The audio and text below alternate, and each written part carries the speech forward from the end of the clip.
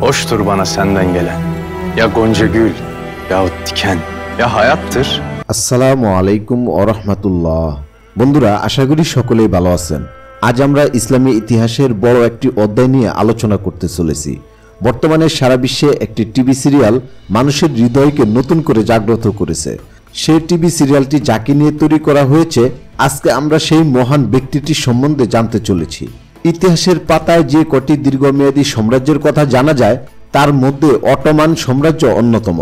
ছয়শো বছরের বেশি সময় ধরে টিকে থাকা এই সাম্রাজ্য মধ্য এশিয়ার ইতিহাসে এক বিরাট অংশ জুড়ে রয়েছে। এটি প্রায় তিনটি মহাদেশ জুড়ে বিস্তার লাভ করেছিল, যা এর আগে অন্য কোনো সাম্রাজ্য করতে পারেনি। পনেরো শতাব্দীতে সামরিক ও অর্থনৈতিক শক্তিতে অটোমানরা ছিল জগতের শ্রেষ্ঠ সাম্রাজ্য। তবে সময়ের পরিবর্তনে এত সফলতার পরও এই বিশাল সাম্রাজ্যের পতন দেখেছিল গোটা বিশ্ববাসী। প্রথম বিশ্বযুদ্ধ পরাজয়ের পর উনিশশো বাইশ সালে আনুষ্ঠানিকভাবে শেষ হয় অটোমান সাম্রাজ্যের শাসনকাল। অটোমান সাম্রাজ্য কীভাবে গঠিত হয়েছিল ও তাদের শেষ পরিণতি কি হয়েছিল এবং বিশ্ব ইতিহাসে তাদের ভূমিকা কি ছিল এ বিষয়ে আপনাদের জানাব। তাই ভিডিওটি স্কিপ না করে শেষ পর্যন্ত দেখুন। আর এই চ্যানেলে নতুন হলে অবশ্যই সাবস্ক্রাইব করুন এবং পাশে থাকা বেল আইকনটি প্রেস করে দিন।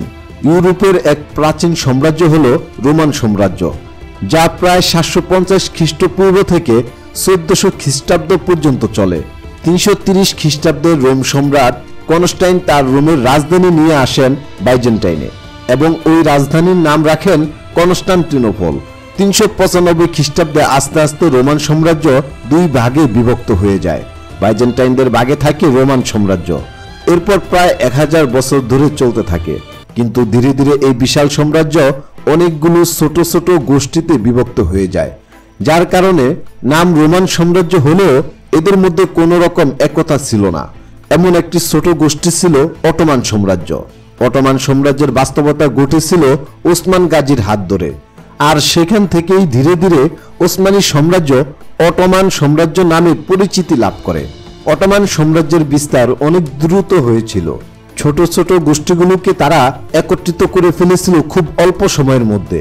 উপনিবেশিক শাসনে ইংরেজরা যে দেশ দখল করত, সে দেশের সংস্কৃতি, ভাষা, জীবন ধারণের পদ্ধতি সবকিছুই পাল্টে ফেলার চেষ্টা করত।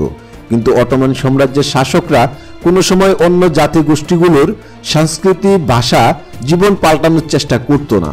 যার ফলে তাড়াতাড়ি অন্যান্য গোষ্ঠীগুলোকে একত্রিত করতে পেরেছিল অটোমান সাম্রাজ্যের শাসকরা।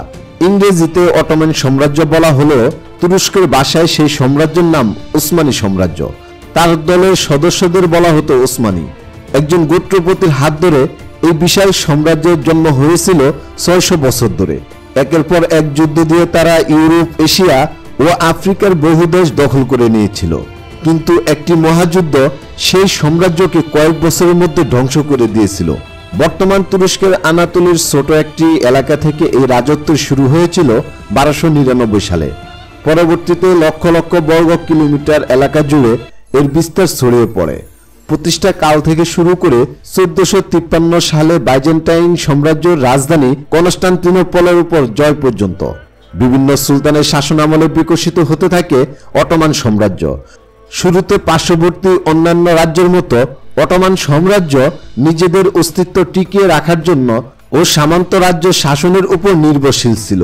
পরবর্তীতে অটোমান সাম্রাজ্যের ভালো অবস্থান তৈরি হতে থাকে। সামরিক ও অর্থনৈতিক উন্নতি তাদের রাজ্য বিস্তারে আরও সহায়ক ভূমিকা পালন করে। পরবর্তীতে পাথিহ সুলতান মোহাম্মদ কনস্টান্টিনোপল জয় করে। এর নাম পরিবর্তন করে রাখেন ইস্তাম্বুল। অটোমানদের এই সফলতার পিছনে কারও একক অবদান ছিল না। একাধিক শাসকরা এই অটোমান সাম্রাজ্যকে সাফল্যের উচ্চতায় নিয়ে যায়। অটোমান সাম্রাজ্য শুরু হয় কাইগুত্র প্রধান আতুরগুল গাজীর হাত ধরে। তার দেখানো পথেই তার যোগ্য উত্তরসূরি পুত্র ওসমান গাজী সবচেয়ে ভূমিকা রাখে অটোমান সাম্রাজ্য প্রতিষ্ঠার ক্ষেত্রে। অটোমান সাম্রাজ্যের পূর্বপুরুষ ছিলেন তুর্কিরা, আর তুর্কিরা ছিলেন মধ্য এশিয়ার বাসিন্দা। তারা ছিলেন অনেকটা যাযাবর গোষ্ঠী।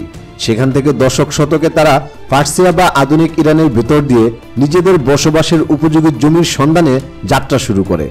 একাদশ দশকের দিকে তারা আর্মেনিয়া ও আনাতোলিয়ার ভেতরে প্রবেশ করতে থাকে। সেই সময় ওই এলাকাগুলি ছিল বাইজেন্টাইন রাজত্বের অধীনে। এদিকে প্রাচীন সাম্রাজ্য সেই শাসকদের জৌলস ততদিনে নিবু নিবু অবস্থায় যেতে শুরু করেছে। ইতিহাসবিদদের মতে সেখানে একটি রাজত্ব বা সালতানাত প্রতিষ্ঠা করে সেলজুক রাজবংশ। তাদের পক্ষে সীমান্ত এলাকায় লড়াই করে ভূমি বরাদ্দ পেয়েছিল কাই গোত্রের প্রধান আতুরগুল গাজী পরবর্তীতে অটোমান বেইলিক নামে পরিচিতি পান তিনি। তুরস্কের ভাষায় বেইলিক মানে ছোট ছোট অধিপতি, যারা নিজেদের গোত্র বা বিশেষ এলাকায় শাসন করতেন। সেলজুক নিয়মে এসব বেইলিক প্রধানদের শত্রুর আক্রমণ থেকে রক্ষার নিশ্চয়তা দিতেন সুলতান, যার কারণে সুলতানের প্রয়োজনে তার পক্ষে যুদ্ধ করতে হতো, তবে তারা নিজেদের রীতিনীতি মেনে চলতে পারতেন। আতরগুল গাজীর মৃত্যুর পর গোত্র প্রধান হন তার সন্তান ওসমান গাজী। ওসমানের হাত ধরে পরবর্তীতে ওসমানী রাজত্বের প্রতিষ্ঠা হয়। তার মেধা ও দূরদর্শী নেতৃত্ব দিয়ে একের পর এক যুদ্ধ জয় করতে থাকেন। ওসমান গাজীর ব্যক্তিগত যে দক্ষতা ছিল, তিনি ঘোড়ার উপর থেকেই লক্ষ্য অনুযায়ী তীর চালাতে পারতেন এবং তখনকার সময় তার সাথে যে কয়জন যোদ্ধা ছিল, তারা প্রত্যেকেই খুবই শক্তিশালী ছিল। অল্প সংখ্যক লোক নিয়েই তিনি বিপদমুক্ত হতে পারতেন। এবং তার কয়েকজন সেনার সামনেই অন্য সেনারা দাঁড়াতে পারত না। এরপর থেকে তিনি ও তার উত্তরসূরিরা ইউরোপ, এশিয়া ও আফ্রিকার বহু দেশ দখল করেন। ইতিহাসবিদরা বলেছেন, ষোলো শতক থেকেই অটোমান সাম্রাজ্যের জৌলস কমতে শুরু করে। তারা ষোলোশো তিরাশি সালে দ্বিতীয় দফা ভিয়েনা দখল করতে গিয়ে পরাজিত হলে সাম্রাজ্যের পতন শুরু হয়। আঠারো শতকে প্রতিদ্বন্দ্বী রাশিয়া এবং হেসবার্গ সাম্রাজ্যের তুলনায় তাদের সামরিক শক্তি অনেকটাই কমে যায়। আর যতটুকু বাকি ছিল তা সমাপ্তি করে দেয় প্রথম বিশ্বযুদ্ধ। ষোলো শতকে যখন নতুন নতুন দেশ আবিষ্কার হয় এবং ভারত ও চীনের বাণিজ্যের জন্য নতুন নৌপথ আবিষ্কার হয়, তখন অটোমানদের এলাকার উপর থেকে সকলের নির্ভরশীলতা কমে যায়। সেই সঙ্গে ব্রিটেন, স্পেন, পর্তুগাল নৌ শক্তিতে আরও অনেক বেশি শক্তিশালী হয়ে ওঠে। অনেকগুলো এলাকা বেশ কয়েকটি যুদ্ধে অটোমানদের হাতছাড়া হয়ে যায়। এছাড়াও অন্যতম কারণ ছিল অদক্ষ সুলতানদের ক্ষমতায় আসা।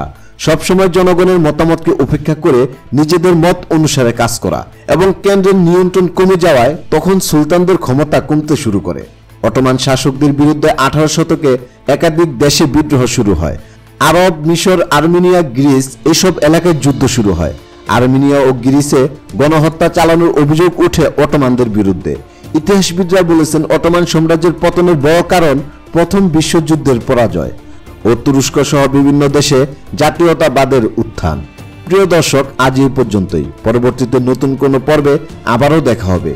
সে পর্যন্ত ভালো থাকুন, সুস্থ থাকুন। নামাজ বাদ দিও না বন্ধু। এপারের চেয়ে ওপারের জীবন অনেক সুন্দর।